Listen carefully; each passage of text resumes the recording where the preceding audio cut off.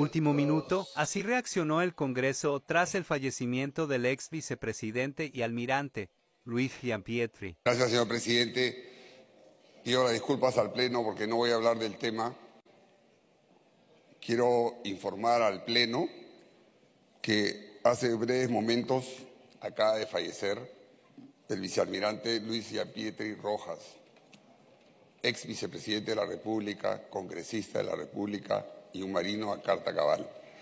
Hombre que defendió siempre no solo el fuero nacional, el fuero naval y sobre todo luchó por la democracia, nacido defensor y luchador contra el terrorismo. Le pido, señor presidente, nos permita hacer un minuto de silencio en memoria del, ex, este, almirante Luis Giampietri. Minuto de silencio.